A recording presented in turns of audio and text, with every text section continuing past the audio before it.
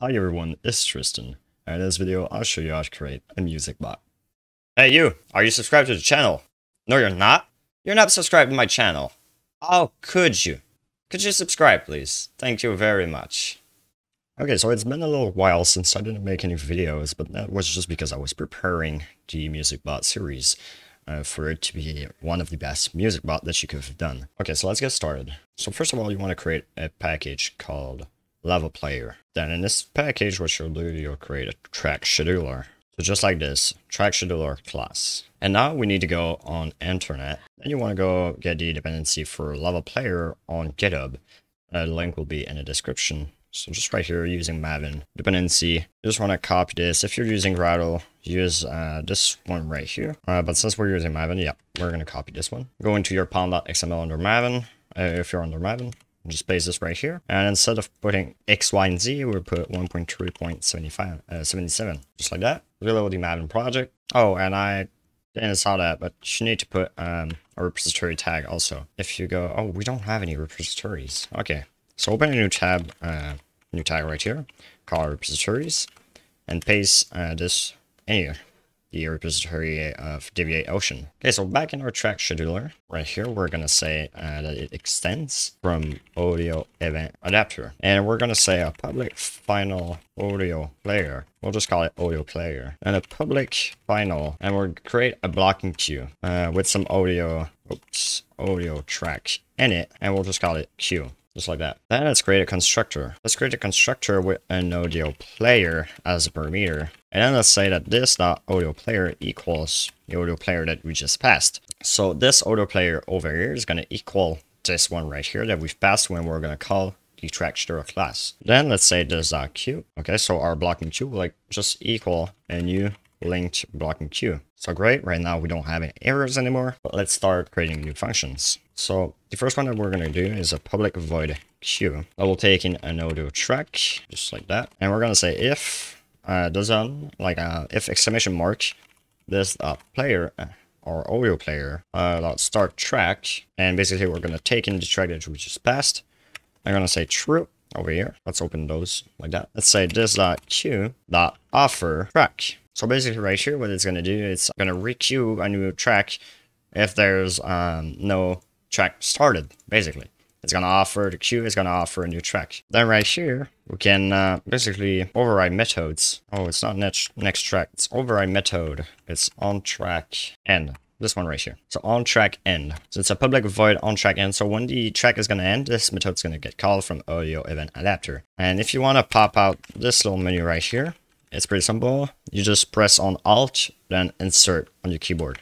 Then you can go to override methods and override the uh, the method I've just override. So on track end. Then you're gonna say if and reason that may start next. I'm gonna say next track. And right here, let's create the uh, next track function.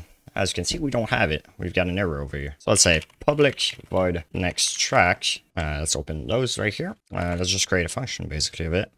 Just like that. Let's say this dot player or audio player dot start track. It's going to be this dot queue and we're going to pull the queue. So it's going to give us um, the next uh, music basically over here. Let's just put in false. Okay. I, I don't really remember what is um, this boolean doing right here because as you can see the variables are um, are not showing. I mean over here you need to put true and over here you need to put false. Okay, that's how I did it and it works fine. Okay, so our track scheduler class is now done.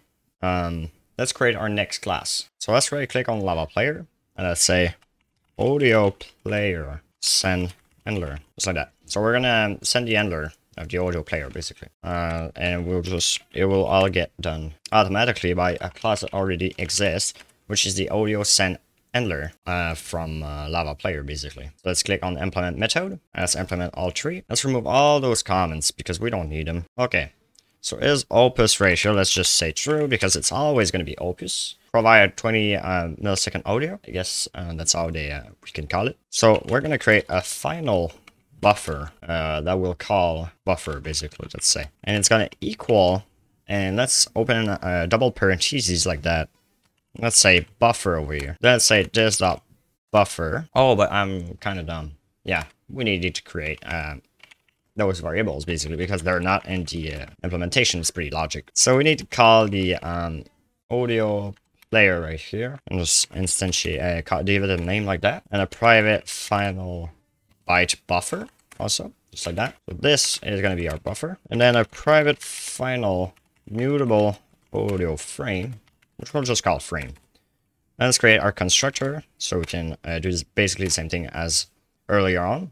Uh, just click on Alt Insert. But now what we want to do is remove those three. So basically this dot buffer will equal byte buffer dot allocate 1024. Then the frame is just going to be a new mutable audio frame. Let's say this dot frame dot set buffer, basically our buffer. If we go back over here, we can instantiate the buffer and just say dot flip. Then let's say return over here. Let's cast byte buffer uh, for our buffer like that. And as you can see, everything works uh, for this one. That's pretty cool. Then the can provide, let's say this dot audio player dot provide this dot frame. Okay, so that is it for this class. Now let's create a new class. Let's call it guild music manager. And then what we're going to do, we're going to say public final audio player, which is going to be our audio player again. Uh, let's say public final track scheduler, which we just created it. So let's call it scheduler. Oh, this one we can pass it private. Uh, so it's going to be a private final audio player send handler. And we'll just call it send handler. Let's create our constructor. So just like that. it's pretty unuseful what I've did, but it's okay. And we're just to pass in an audio player manager. Should be a manager like that. So this dot audio player equals manager dot uh it's create player. Yeah, just like that. This dot scheduler equals a new track scheduler and we'll pass the audio player. This dot audio player dot add listener this dot scheduler. So we'll add our scheduler to um, a kind of event basically. So we'll listen for it. And this dot send handler just equals a new audio player send handler with this dot audio player. Then let's create a public uh, function over here. So public audio player send handler we're gonna say get send handler and we will return this uh, uh, send. So that is it for this class also. Then let's create a new class and this will be our last one, our biggest class basically. So it's called the player manager and this is gonna be our biggest class to do. So let's get started. So we want to say private static player manager and we'll just create an instance of it. So just like that, just call it instance. Then we will say private final map. Okay, so we'll create a map of a long uh, and plus a guild music manager. Just like that. It's going to be music managers. Let's import the map. Then let's say a private final audio player manager, which will be an audio player, uh, would be called audio player manager. Then let's create our constructor. So player manager, just like that. Let's say this dot music managers equals a new hash map. So that's the first thing that we need to do. This audio player manager equals a new default audio player manager. And the audio, we can say audio source managers dot register, and we're going to register remote sources, this dot audio player manager. And then we can co just copy this, and instead we will register the local source. So when that's done, we'll create a function to get the music manager. So guild music manager, get uh, music managers like that of uh, some guild, basically. Uh, so this is going to be a JDA guild. And we will say return this dot music managers dot compute if absent guild dot get id long and right here it's going to be a guild id it's going to be a lambda expression basically so just like that or you can add, uh, you can close it basically. And we're gonna say final guild music manager, which is which we call it guild music manager, equals a new guild music manager of this audio player manager. And let's say guild get audio manager. Uh, let's say set sending handler, and it's gonna be the guild music manager dot get handler, the function that we just created. Then let's return our guild music manager. Okay, as simple as that. Okay, then let's say public void load and play. So now we start getting something pretty interesting. So we need a text channel and a string, oh, not an equal, a string, uh, which will be our track URL. Let's say final guild music manager, music manager equals this dot get music manager of the text channel dot get guild. And let's say this dot audio player manager dot load item. It's going to be ordered of the music manager, the track URL, and it's going to be a new audio load result handler. So as you can see, it implemented a bunch of methods. We can close this right here. So first of all, the track loaded, and we're almost done with this. Uh, no worry, guys. It's the longest video on the channel for now. So right here is going to be music manager dot scheduler, and we're going to queue this audio track. So that's the first thing that we want to do. So we're adding it to the queue, which is the function that we've created earlier. Then let's say text channel, that's send message. I'm going to say adding to a queue. Let's say double star, and that's going to be a bit of formatting. I don't know how we call that. And then let's say dot append, and basically over here we're going to say audio track dot get info dot title. Then we're going to append again, which we're going to say again this weird little symbol uh, by. Oops. Let's say append again, and over here is going to be the audio track Now get info dot the author of the song. Let's say append and that's this will be the last one where we close it just like that. And then we can just hit a dot queue. Perfect. So that's done for the track loaded. Then for the playlist loaded, uh, we're going to say final list. And we're ain't going to load a full playlist. You'll know why. I'll show you why after. So over here, it's an audio track. And this is going to be the tracks. And it equals the audio playlist dot get tracks. Then we're going to say if tracks is empty. So if it's not empty with this exclamation mark right here, do not forget it we're going to say music manager.scheduler.queue, and it's going to be the tracks dot get zero. So we're going to get the first track of the queue, basically, of the, uh, basic, no, uh, we're getting the first track of all the tracks that we've searched, basically, because this is going to be related to a search. Because when we're to play a certain song, let's say I say uh, to the bot play, um, I don't know, hello, okay? So the name of my song is supposed to be hello. But the bot, what it will do is the bot will go on YouTube, you will search hello, and then you will get the track zero, so the first track basically, you will get it. So then let's say text channel dot send message, and actually, let's just copy all of this up there.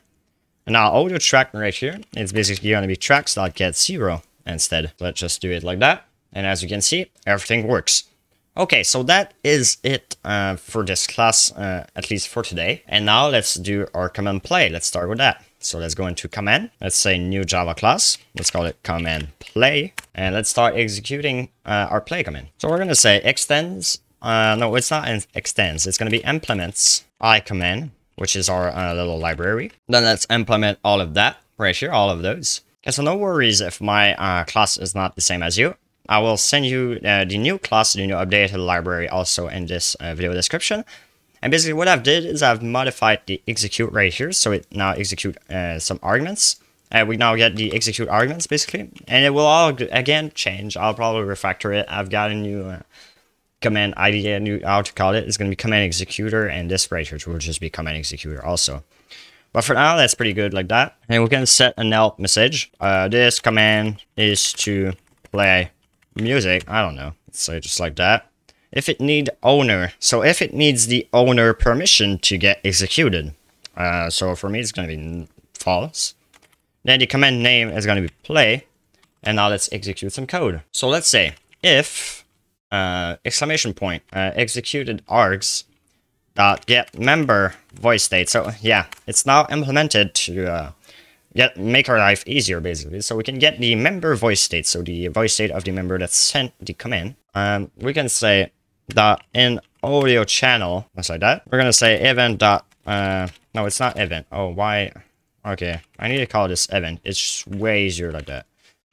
So event dot, um, get text channel, send message. And we're gonna say you need to be in a voice channel to, uh, actually for this come in to work. And then let's queue that. Perfect. And let's also return the code right here. Okay, then let's say if exclamation mark again, event.get self, self voice state, just this right here, dot in audio channel again. Now let's say final audio manager, audio manager equals event.get audio manager, just like that. Let's say final voice channel equals member, uh, not equals, but not yet, it's going to be member channel equals, and it's going to be voice channel, so a, a cast of voice channel, and it's going to be event.get member voice state get channel. Then let's say audio manager dot open audio connection, and it's gonna be uh, from the member channel. So basically, this right here is if the bot is not in the Nojo channel, it will get the member audio channel because we know that is in one, and it will basically open the audio connection in it, so the bot will connect to this channel. Then let's say string, which will be our link, equals a string dot join. Uh, this is going to be the delimiter, which is just space, and it's going to be event dot get args. So yeah, this is also something that I've added to um, the execute args class, which we can just get the args, basically, command args. Then we're gonna say if exclamation mark is URL, the link, basically right here, we're gonna pass the link. And no worries, we're gonna also create the is URL function. So this is gonna be to check if it's an URL or not. We're gonna say that link equals uh, YT, so for YouTube search, two dots plus the link plus espace, uh, space, oh my god, space audio, okay? So why am I putting space audio? It's because it's gonna execute a YouTube search of the song name that you've put, and then after it's automatically gonna put audio.